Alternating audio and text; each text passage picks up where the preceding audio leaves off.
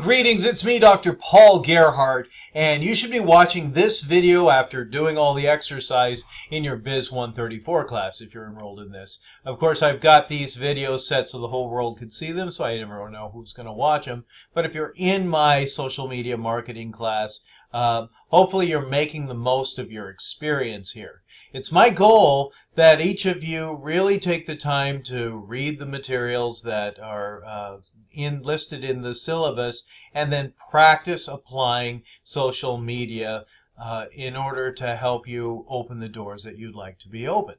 And speaking of opening doors, one of my favorite social media uh, sources is LinkedIn.com. And I highly recommend that if you haven't done so, that you open your own personal LinkedIn page and start growing your audience and building your network. It is the social media for professionals. You know, a lot of people recognize that Facebook is very powerful and it's visited by millions of people every day, and it is a really good way to network. But really, Facebook really is considered a, more for play than it is for work. But LinkedIn really is the serious adult, if you will, website. And so I wanted to walk you through some of the basics of LinkedIn uh, from your reading that you should have done this week. So what is LinkedIn? Well, it really is about professional networking. Here's your opportunity to essentially put your resume online and have your own professional page on a site that uh, people are looking for other people to hire for their organizations or looking to do business with or looking for experts to help uh, enhance their careers or their business. So it really is a wonderful opportunity for you to grow your network. So post your resume. Be very careful what you put online. Really be thinking about how you want people to see you. It's very important that you be absolutely honest. I, I always talk about in my classes uh, there are a lot of really great paying jobs out there. But some organizations I just would not want to work for. You know, so organizational culture really is important for me. So I want to be, uh, if I was looking for a job, uh, attractive to companies that were a good fit for me. So I need to be authentic and honest in my uh, online resume, which is your LinkedIn profile.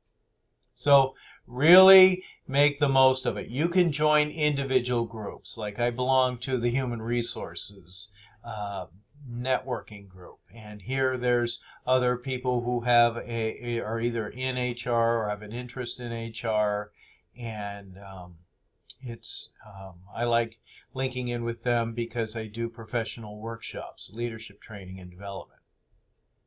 Uh, you can have, if you have your own company, you can start your own company LinkedIn page. And this is a really good opportunity for you to connect with your customers and build your clientele, of course.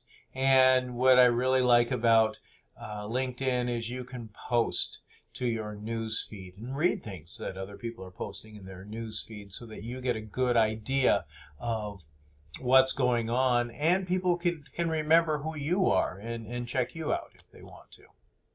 So you could use the LinkedIn search features. And again, I'm just quickly go, giving an overview of what's available on LinkedIn, but you really need to get your hands wet and dive into LinkedIn. Uh, search for people on LinkedIn. You know, I think it is a wonderful tool if you own a business to be able to, to see who's doing the kinds of things that you that you need.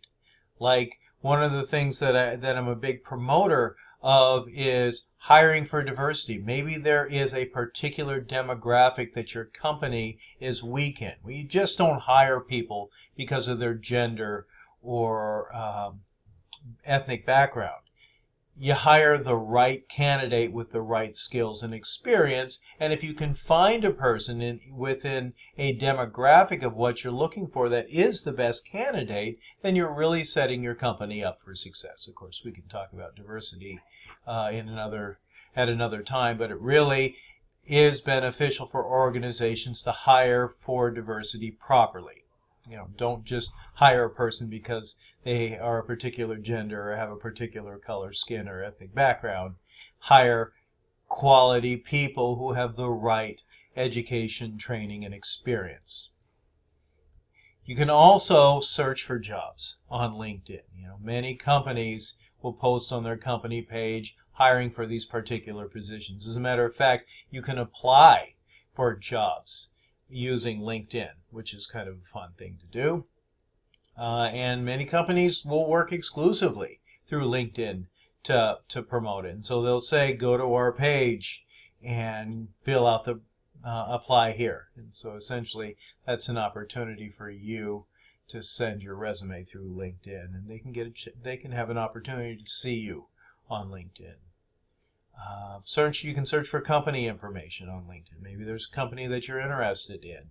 Uh, you can go and see if they have a professional page. And if you are a leader in a company and you don't have a professional LinkedIn page, get one, start one. I'll talk a little bit about that here in this slide presentation. But anything that you put on any of your social media, keep in mind your target audience. You know, I love to talk about critical thinking and target marketing and how important, you know, to think about life like chess. You've got to put your best foot forward every single time, but you have to be kind of strategic uh, with what you place online to be able to maximize your opportunities. You can't be all things to all people. You must recognize the niche that you fill and what your value proposition is that you're offering and make sure that that's well represented in the words that you choose and the pictures that you choose and things that you like also. So here's some tips for your profile. Optimize your profile with keywords. If you know that you want to do something very specific uh, with a career, make sure that your words that you choose are honest, but also help you be seen as someone who's credible. And if they're searching for those keywords in LinkedIn or on YouTube or on YouTube, on Google, they should find your LinkedIn profile because you've targeted your keywords properly. Use a quality professional photo. You know, especially on LinkedIn, uh, I would do it on everything you know, professionally. I, am very careful about what I put on Facebook. You know, people are going to check me out. And I always want people to know who the real me is, and I don't want to have anything on my Facebook feed or LinkedIn feed where, where I could be seen as controversial or a risk. I don't want to be a risk. I'm not a risk. So do make sure that you're thinking about uh, how what you are um, posting online how that will be perceived because it could be there could be just one thing that separates you from getting the job versus someone who's more professional that didn't have that one thing that was so controversial on your your feed. So uh, share your accomplishments be honest about things think about the wording look at spelling um, know what people will be searching for when they do it and make sure that you're using that as a keyword throughout your um, your profile. Be clear, be very, very thorough. Don't throw a ton of information where people have to sort things out. I'm a big fan of using bullet points or asterisks uh, to help people really go, aha, this person's credible, or aha, that's a cool accomplishment. You know, and so really be very clear. Um, when you choose your LinkedIn uh, profile URL, choose something that would be easy to distribute. Well, you got to have linkedin.com forward slash in, but you got to choose what people are going to find, and you can change it later. Like mine is just Paul Gerhardt, so linkedin.com slash in forward slash Paul Gerhardt. And then add your social media addresses too. And this is your opportunity to really build your online presence and then have a bunch of on all your social media, all your pages kind of linked in so people could really get to know you better. That's the whole deal with using social media is people want to build a relationship with you. People need to understand you. People need to be able to see that you are a credible person. So use your LinkedIn, all the options on your LinkedIn uh, profile, fill them out thoroughly, and give useful links to help people get to know you better. So uh, with LinkedIn, you actually have three different levels of connections. Obviously, level one is going to be the most powerful. You know, these are the people that uh, actually will see your feed. These are the people that you could actually connect with using the send message button or contact button. Uh, level two people, you can see who they are, but you need to have connect uh, with a level two person uh, via a level one person. So you would contact a level one person and say, hey, Dr. Gerhardt, I see that you're connected with John Jones at John Jones Plumbing. I'd like to know him. Can you connect the two of us? And so uh, you could use the features in LinkedIn to connect uh, with a level 2 person using the contact feature. So get people to ask you to connect. I like using LinkedIn profile on my business personal business cards. Um, I like uh, LinkedIn on my Facebook accounts. And, and of course, I've got my LinkedIn accounts connected with all my other social media. So I have a blog that I run and I have my LinkedIn page there. And so uh, a smart thing to do is ask people to, to link in with me. If I'm writing an article on my blog, I could say, hey, connect with me on LinkedIn. Give them some reason to, to join you. For more information on leadership training, connect with me. For exciting updates on how to make the most of your career, connect with me on LinkedIn. You know, that kind of language. You've seen it before. Anyway, it really is powerful. Uh, you can upload your own contacts from your email account. Uh, and it seems to me that with my phone, it actually could search my contacts uh, on my phone, and um, I can connect, get people send out invitations via LinkedIn to connect with me. So the app on your phone really actually has a little more, few more features than the app on the computer. So that's what I liked about LinkedIn is it gives you some versatility uh, to be able to use it as a mobile app. And of course, you could use it as a desktop app. When I publish articles on LinkedIn, I'm using my desktop app or just directly connecting with uh, LinkedIn uh, via linkedin.com and I sign in, I write an article in Word and I post it. Uh, so we'll talk a little bit about that. Uh, you can get paid LinkedIn accounts and uh, it's they'll bug you a little bit about uh, upgrading. Usually they'll send you try LinkedIn for 30 days. And uh, it's a good feature if you're searching for a job. I'm not searching for a job, and I hope I don't have to search for a job anytime soon. But using a LinkedIn account could pay good dividends eh, for you in, in getting a better job. It gives you more exposure. Uh, you can use an enhanced profile with a larger photo.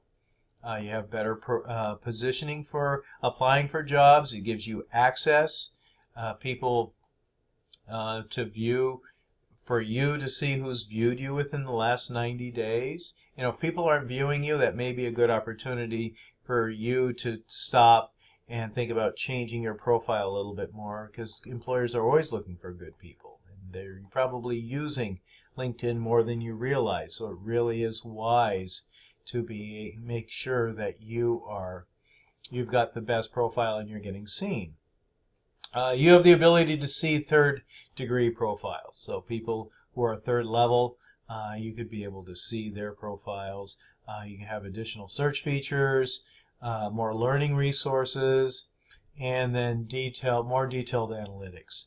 So um, LinkedIn actually bought lynda.com, by the way, which lynda.com, L-Y-N-D-A.com is a really wonderful uh, opportunity uh, for you to watch vid training videos on almost anything that you want to learn how to do. So it's, it's really kind of cool, and it's, it's actually very affordable.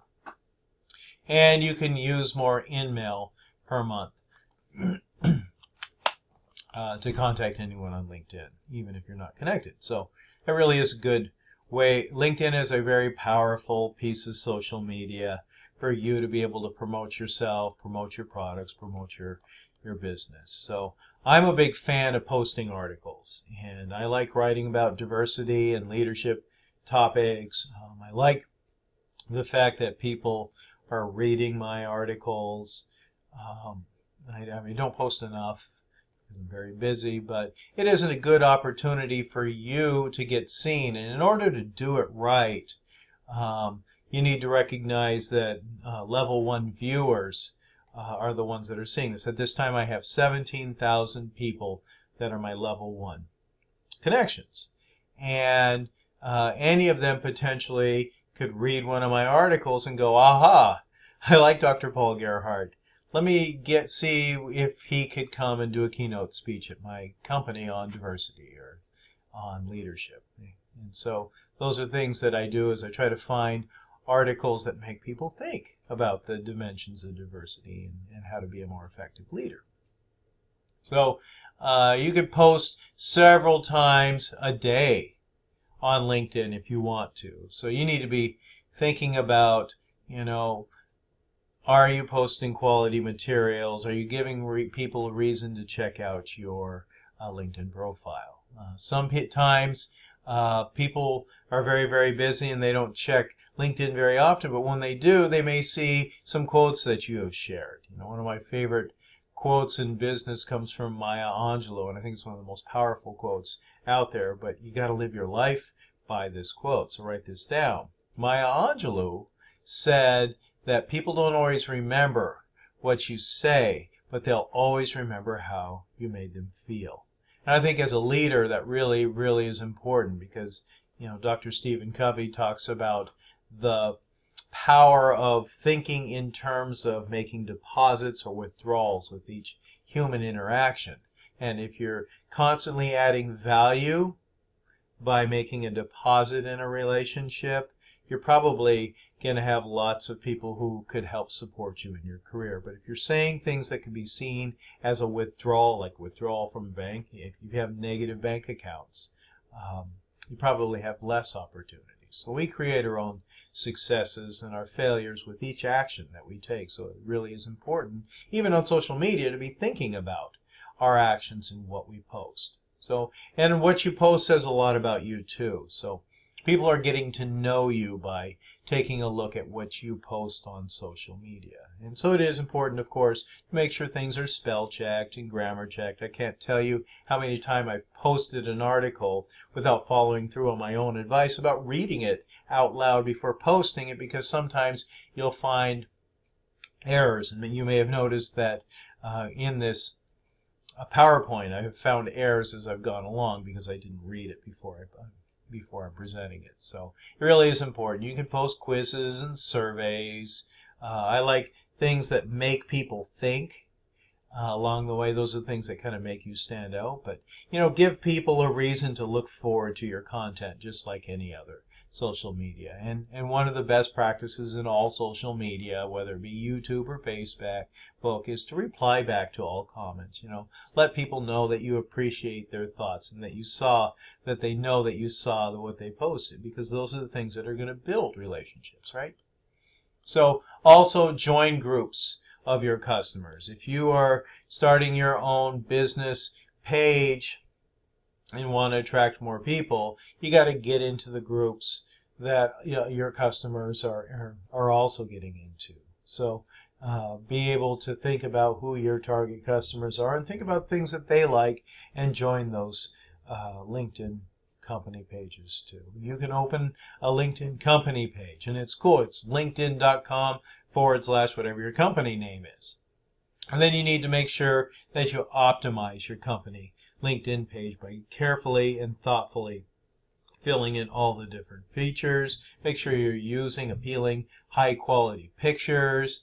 Uh, and then if you have employees, get your employees to post content on your company page too. And you can uh, assign admins to your company page. So it really is a powerful piece of social media. And finding, finally, uh, just a reminder, post meaningful content. Don't waste people's time. Give people a reason to want to visit your site. Share industry information. Promote educational, useful, professional content. It's a great opportunity for you to be seen and build an audience. Keep your target market in mind uh, for future jobs and business. If you look at my LinkedIn uh, site, you search for me on LinkedIn, Paul Gerhardt, and Dr. Paul Gerhardt probably, uh, you you will notice that people could read my articles to get to know me a little bit better. And I, I think I suspect some of my articles, people will go, aha, this person's really critical about uh, leaders and their actions. And I am. You know, my message primarily is if you're a boss, be good to your people. Remember that just because they see things differently, that doesn't make them bad. That makes them an asset. And, and that we, our relationships are fragile and most people quit their jobs because of their boss. And I think that's a really powerful message to remember. And so uh, that's pretty much what I put when I'm posting, you know, articles that help make people go, aha, yes, I've had a bad boss before. I don't want to be that bad boss. Or, aha, I do have talented people working for me, and I should really treat them like I truly value them. And I think I really believe that that's the kind of articles that, that fills my niche. I, I, I am a little motivational in my my posts too, because I really believe anybody can be an awesome boss, and you should be an awesome boss. So you could send out sponsored in-mail posts too, and I know that I get them every once in a while in my LinkedIn feed, but I never read them, and so I suspect some people do, or it probably wouldn't be a feature that they carry on. But you could also uh, pay to have sponsored content, and of course that content will go into a feed and it'll say promoted on it in small letters. So LinkedIn really is an amazing uh, piece of social media that uh, I highly recommend you develop and continue to develop and keep updated as you uh, grow your career and know that you can use it to promote your business and uh, to find better jobs and you know step by step with a solid plan you can have an amazing career with the help of LinkedIn. All right, thanks so much for your valuable time. This is a little longer video than I was hoping to post, but uh, I really appreciate it. Make sure that you're scheduling time for success. You know, learning is an active process and it's something that can't be faked. The more you practice engaging with the materials that you're reading, doing the assignments in a meaningful way, the more powerful your portfolio is going to be and your intellectual toolbox, which makes you a better prospect for people who are looking to hire you.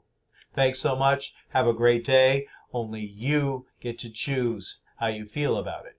I'm Dr. Paul Gerhardt.